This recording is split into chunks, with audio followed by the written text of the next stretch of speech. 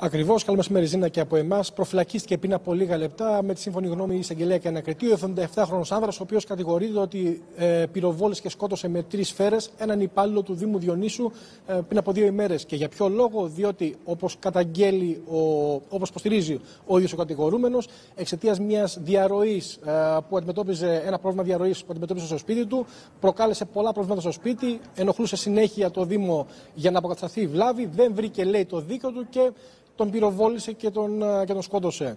Δίπλα μου είναι ο κύριος Χρυσικάκης Ζήνα, ε, είναι ο συνήγορος του κατηγορούμενου. Ε, κύριε Ο κύριος Χρυσικάκης ήταν και στην εκπομπή μας χθες. Ε, μας είχε πει ότι σήμερα θα οδηγούνταν στα δικαστήρια. Μας είχε πει ότι ο πελάτης του είναι ασθενής, ότι είχε προβεί σε αυτή την πράξη παρότι είχε δυσκολία στην καθημερινότητά του. Κύριε Χρυσικάκη, προφυλακίστηκε τελικά ο πελάτης σας; Ο εντολέα μου προφυλακίστηκε και έτσι έκρινε η ανακριτική και η εισαγγελική αρχή.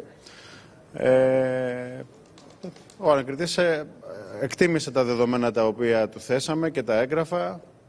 Εμείς διαφωνούμε σίγουρα με αυτή την ε, απόφαση. Ε, Εκεί που εστιάζετε εσείς είναι η ηλικία και το πρόβλημα υγείας που αντιμετωπίζει ο πελάτης σας; Η ηλικία και, το, και τα προβλήματα υγείας που αντιμετωπίζει ο πελάτης μου είναι μία πτυχή. Ε, και τώρα αντιμετωπίζουμε το θέμα της επιβολής περιοριστικών όρων. Ε, σίγουρα ένας 77χρονος για να φτάσει στο σημείο να, να οπλίσει το χέρι του και να σκοτώσει έναν άνθρωπο με τον τρόπο που έγινε, προφανώς έφτασε σε αυτό το σημείο από κάποιους λόγους. Το θέμα δεν ήταν μία διαρροή ε, υδατός. Το θέμα ήταν ότι ε, ε, υπήρχε μία ζημιά στο σπίτι η οποία οφείλεται σε, ε, σε μία δομική ρηγμάτωση που οφειλόταν σε, σε, σε διαρροή ε, ύδατος και παρά τις κατ' επανάληψη οχλήσεις, τις οποίες είχε κάνει και αιτήσεις, δεν υπήρξε ανταπόκριση. Τώρα, τη συγκεκριμένη ημέρα υπήρχε ένα φραστικό επεισόδιο, ένας διαπληκτισμός. Βεβαίως αυτό δεν δικαιολογεί σε καμία περίπτωση αυτό το οποίο έγινε. Ε, και στα πλαίσια αυτά έγινε αυτό το οποίο. Πάντως, κύριε Φυσικάκη, και δεν, δεν τέθηκε και θέμα α, με βραχιολάκι στον πελάτη σας, καθώς είναι ασθενής, όπως λέτε. Κυρία Κουτσελίνη, εγώ θα σας πω τα δεδομένα και εσείς θα βγάλετε τα συμπεράσματά σας. Ε, για να επιβληθούν περιοριστικοί όροι απαιτείται ο κατηγορούμενος να είναι ύποπτος φυγής, να είναι ύποπτος τέλεσης νέων αδικημάτων, να έχει καταδικαστεί αμετάκλητα για αδικήματα και ιδίως για απόδραση κρατουμένου και να μην έχει γνωστή διαμονή. Αυτά προβλέπουν τα άρθρα για την επιβολή περιοριστικών όρων. Υπάρχει, ε, αν εσείς με αυτά τα οποία γνωρίζετε, πείτε μου τι από αυτά εδώ πέρα πληρείτε.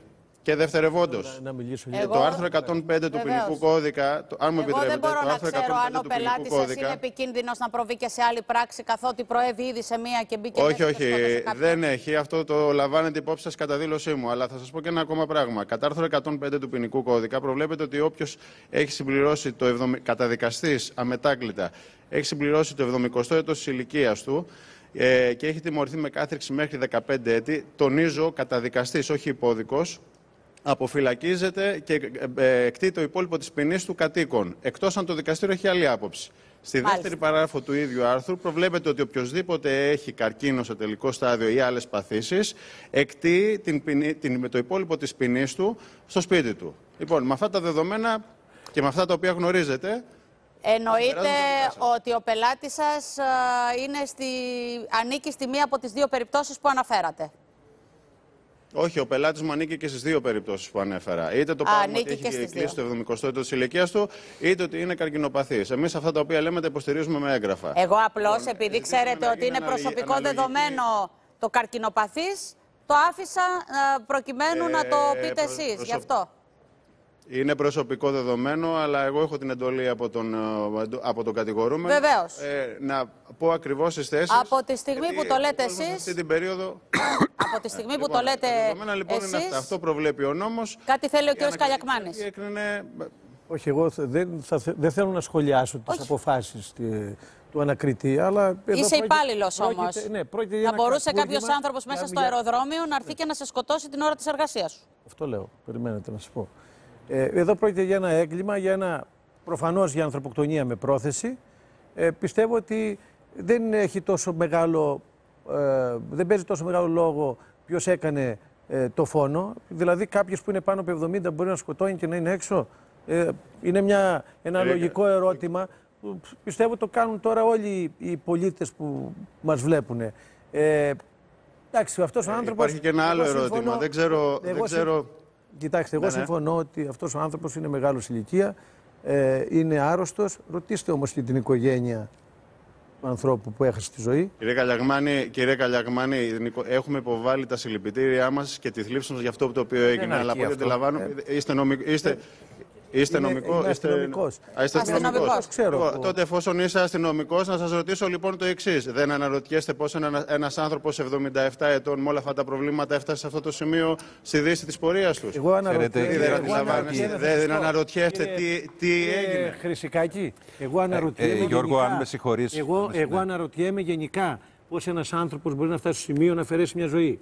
Αλλά βλέπετε ότι αυτό γίνεται καθημερινά. Καθημερινά βλέπετε φόνοι παντού. Αυτό όμως δεν, ε, δεν υπάρχουν κάποια επιχειρήματα που μπορούν αυτό, αυτό το πράγμα, την, την ανθρωποκτονία, να την καθησυχάσουν ή να, πού- να, να, να δώσουμε επιχειρήματα έστω την ηλικία, έστω την αρρώστια. Το θέμα είναι ότι χάθηκε μια ζωή. Και θα πρέπει και οι συγγενείς του θύματος να, να, να, να, να Και λάβουν το, μια... και το, ναι. Α, ε, Γιώργο, κάτι τελευταίο, αν θέλεις, προκειμένου Ναι, να ναι. πάω Και διαφημίσεις. το ζήτημα είναι ότι ένας άνθρωπος ο οποίος συμβιώνει με το φάσμα του θανάτου, περιμένεις να έχει μεγαλύτερο σεβασμό προς τη ζωή. Αυτό Σωστά. είναι το... Ναι, εκεί δεν μπορείς Γιώργο Και μου, δεν αναφέρομαι στον 77χρονο, το λέω γενικά το δεν είναι, σωστά. κύριε Χρυσικάκη, δεν είναι μια λογική πράξη η ανθρωποκτονία. Δηλαδή, αν καθίσουμε και το Κύριε- σκεφτούμε γενικά, θα κύριε δούμε ότι Καλιακμανή. όποιος μπαίνει σε αυτή τη διαδικασία Κύριε είναι διαταραγμένος Καλιακμανή, και είναι άρρωστος. δεν έγινε η δίκη. Αλλά αυτό πάει να Κοιτάξτε, πει ότι δεν θα έγινε πρέπει η όλοι δίκη αυτοί να είναι σήμερα. έξω. Απλώς σήμερα Δεν είναι- απολογήθηκε όχι, αλλά και αυτό προφυλακίστηκε. σημαίνει ότι όποιος είναι υπόδικος πρέπει. Λοιπόν, θα πρέπει Ναι, ναι. οποιοδήποτε είναι κατηγορούμενος να πάει στη φυλακή, όπως το λέτε. Υπάρχουν, Όποιος έχει προβλέψει νομοθεσία όποιος για σκοτώνει- περιπτώσεις ανθρώπων. όποιος σκοτώνει θα πρέπει να πάει στη φυλακή. Μην μπερδεύετε, μην μπερδεύετε τον υπόδικο με τον καταδικαστέντα. Είναι άλλο το ένα, άλλο το άλλο. μπερδεύω. Εμείς σήμερα Ξέρω πολύ συζητούσαμε καλά το τι θέμα σημαίνει της υπόδικος. απολογίας και της επιβολής προσωρινής κράτησης. Απεριοριστούμε Μάλιστα. σε αυτό. Τώρα, επί της ουσίας υπόθεση δεν θέλω να πω κάτι παραπάνω. Κύριε Χρυσικάκη, σας ευχαριστούμε πάρα πολύ.